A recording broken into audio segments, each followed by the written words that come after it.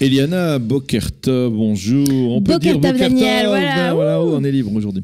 Personne Euh, n'a compris, mais c'est ouais, pas grave, nous on est mais enfin voilà, certains ont compris, voilà. Euh, Euh, alors, j'espère que vous avez passé de bonnes fêtes. Voilà, le également. retour. également. Alors, on va parler euh, ce matin euh, d'une information, la disparition d'un rave, le rave Nissim Karelit, qui est une personnalité importante. On aurait pu peut-être parler aussi du, de Meir Shemgar, qui est décédé pendant la fête, qui vrai. deux, deux personnalités euh, À importantes. vrai dire, j'ai une belle hein, liste de personnes euh, qui qui sont décédés parler. pendant la, la- la fête. En tout cas, euh, on va parler ce matin de Rav Nissim Karelit. Expliquez-nous qui était-il. Alors d'abord, il est décédé donc hier soir, donc c'est vraiment euh, tout frais, hein, j'ai envie de dire. Euh, il, euh, le Rav Shemariaou Yosef Nissim Karlit est né euh, à Kosova, qui était en Bélarus, qui est aujourd'hui en Bélarussie. À l'époque, ça faisait partie de l'empire. euh, non, ça faisait partie de l'URSS puisqu'il est né en 1926. hein. Euh, et euh, son père le, était déjà un Rav Nahumir Karlit. C'est important pour moi de préciser qu'on on touche quand même. ce sont les dernières personnes qui ont vécu et qui ont grandi dans le monde d'avant, le monde d'avant la Shoah, ce monde de, Mhm. Torah qui Mhm. existait. Alors, il, sa, sa maman s'appelait Batia, c'était la sœur du Chazonish, donc il y avait déjà un, Ouais. un particulier, Ouais. c'était le neveu du Chazonish. Et il fait son allié avec ses parents en 1936 en Eretz Israël. Donc, il, euh, il échappe de près euh, euh, aux années euh, terribles. Et il va étudier, donc il va s'installer à Bnei Brak, près de son oncle, et il va étudier là-bas eh bien, dans différentes yeshivot. Et il va ensuite être connu pour être un Rosh Yeshiva, un, un Ram, un- donc un, un enseignant dans la yeshiva de Vijnitz à Bnei Brak. Et surtout, quand son père décède, c'est lui qui va devenir le Rosh Kolel Chazonish euh, et le Rav du Bet Knesset Eligman. Donc c'est un des premiers, euh, une des premières euh, synagogues de Bnei Brak. Alors pour la petite histoire, je ne sais pas si vous la connaissez, mais au départ, Bnei Brak n'a pas du tout été construite pour être euh, une, Ouais. euh, une, une ville euh, Orthodoxe. orthodoxe. Euh, il faut raconter, ça, ça, on le retrouve à plusieurs reprises en Israël. C'est un peu comme l'histoire de la ville de Modine. On, on repart euh, 50 ans plus tard, qui a été une ville qui a été créée, par exemple, sans et sans place pour les Bate Knesset, comme le, quartier d'Achoma, même, même histoire. On n'avait pas pensé en fait que les populations religieuses viendraient s'y installer, et ça a été le cas. Et, euh, et, c'est donc à Bnei Brak qu'il va s'installer, et c'est là-bas. Eh bien, qu'il va euh, créer euh, euh, en, dans les années 60 le Beddin Tzedek de Bnei Brak, euh, donc son Beddin dont il va être à la tête pendant plus d'une cinquantaine d'années. Et ce Beddin, c'est important d'en parler parce qu'il a c'est le plus grand Beddin en fait indépendant en Israël. En Israël, vous savez, la majorité de la vie religieuse est réglée par la rabbanout, par, le, grand rabbinat. Et dans notre cas, eh bien, on a quelques, rab- quelques beddines qui sont indépendants. Et c'est le beddin indépendant. Alors, c'est intéressant aussi parce que dernièrement, dans le monde d'Atil et Oumi, on essaye d'avoir des Des Batédines, euh, indépendants. Mais en fait, euh, la personne qui a fait ça depuis toujours et qui a eu une force euh, incroyable à partir de ce beddin, euh, c'est bien le Rav Karlitz. Euh, la particularité, entre autres, de ce beddin, ce sont ses conversions. Il y a énormément de guiourim, de conversions qui sont faites à travers ce beddin. Et je vous racontais euh, hors antenne, et je vais le re-raconter maintenant, euh, que par exemple en Amérique du Sud, il n'y a presque pas euh, de conversion en Amérique du Sud. Oui. Pour beaucoup de raisons.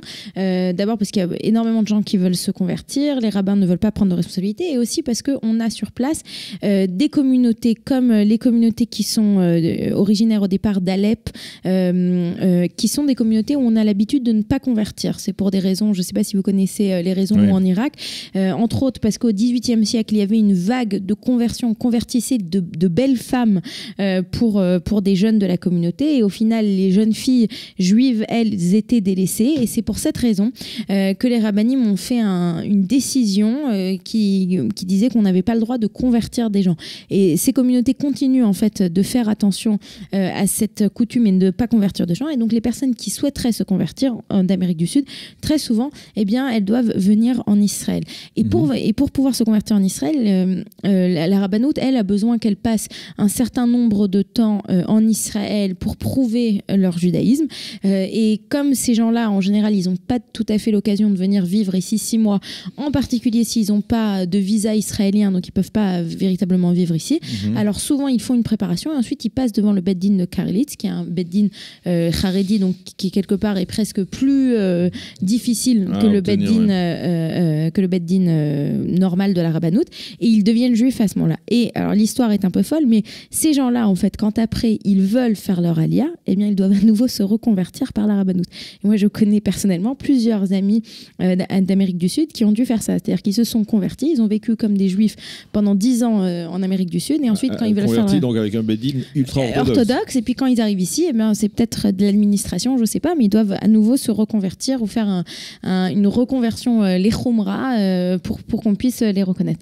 Alors, euh, euh, aussi une autre chose qu'on peut dire sur le Rav Nissim Karelitz, à part le fait qu'il a été donc très présent aussi d'un point de vue politique, qu'il était à la tête euh, de... Il était un des responsables du, du Conseil des sages de la Torah de la Conseil ville de la d'Israël. Torah, Exactement. Il était aussi, son fils a été un des célèbres maires de la ville de Bnebrak Ah oui. pendant près d'une dizaine d'années. Donc c'était quand même une famille qui avait énormément. Il faut d'ailleurs Euh, noter, c'est assez marrant parce que, enfin marrant, euh, c'est une, une manière de tout. dire, c'est le Chazonish lui-même s'appelait le Rav Karelitz, le Rav Yeshayahu Kar- Karelitz. Et donc, en fait, euh, apparemment, Ah, c'était le même étaient- nom c'était le même nom, apparemment. Il était Alors marié ça- avec la femme. euh, avec, Ah, euh, c- ça, je sais pas. voilà. Ah bah, c'est- ce c'est que marrant, je remarquais voilà. en même temps que vous parliez. Euh, non, et ce qui était intéressant de dire, donc moi ce matin, entre autres, j'ai lu un espède qui a été écrit par le Rav Yoni Rosenzweig, qui est un rabbin tout à fait, pas du tout Haredi, plutôt d'Atilomi, et il disait que la particularité du Rav Nissim Karelitz, c'est que c'était un rabbin qui n'avait pas peur, qui n'avait pas peur de prendre des décisions et, et- et qui n'avait pas peur des fois. il est- ses décisions étaient considérées comme courageuses parce que parfois, euh, eh bien, il n'allait pas du tout euh, dans le courant et il, euh, il prenait des décisions qui pourraient être considérées dans le monde haredi comme des coulottes, comme des décisions plutôt faciles à prendre. Eh bien, lui, il n'avait pas peur et il allait, il disait voici la Torah et on y va.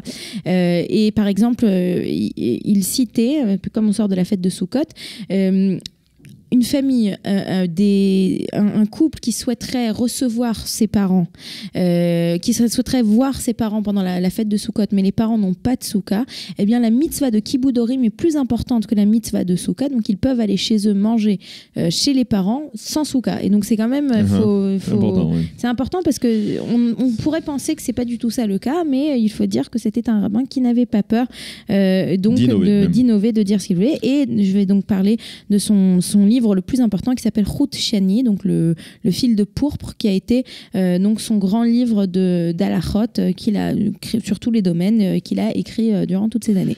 Eh bien, merci beaucoup Eliana de nous avoir euh, détaillé la vie de cette grande figure du monde orthodoxe qui, est décédée hier à l'âge de 93 ans, le Rav Nissim Karlitz. Merci. Nous allons marquer une pause et on va parler dans quelques instants ensemble de quelque chose de plus réjouissant, bien que l'origine de cette réjouissance est tout de même euh, difficile et douloureuse.